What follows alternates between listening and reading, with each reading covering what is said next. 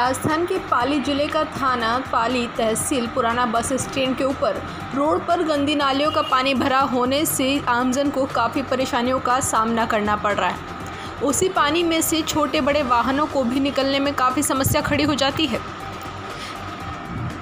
कोसेलाव गाँव से दिलीप कुमार ने जानकारी देते हुए बताया कि रोड से आमजन को भी निकलने में काफ़ी समस्या खड़ी होती है और जो भी डाकघर में जाने वाले आमजन हैं, उन्हें बहुत समस्या का सामना करना पड़ता है और आमजन को उसी गंदे पानी में से बार बार अंदर बाहर जाना पड़ता है।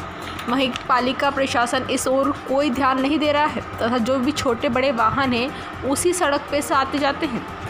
यदि जल्द ही जल्द इसका समाधान नहीं निकाला गया तो कोई अनहोनी होने की आशंका बनी हुई है। बीपीएन न्यूज़ संवाददाता किशोर तंवर की रिपोर्ट पाली राजस्थान से खबर।